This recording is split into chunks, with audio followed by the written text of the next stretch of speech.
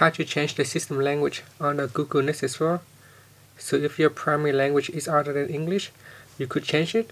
First, let's go back to your home screen by tapping on the home key at the bottom. Then go into settings, scroll down until you get to the personal section and tap on language and input. Here on the first option, tap on language. Then scroll down the list and select your desired language. Once you tap on that particular language, you will see your phone language will be changed. So everything's now in um, the language of your choice.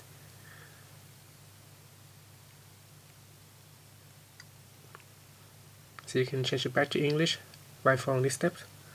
So sometimes um, if a friend's um, giving you the phone and they have changed the language and you don't know how to get back, so you can go into settings here then just go down to this particular section and look for this symbol and tap on that.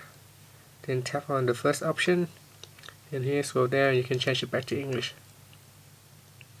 Tap on the home key to finish. Thank you for watching this video. Please subscribe to my channel for more video tutorials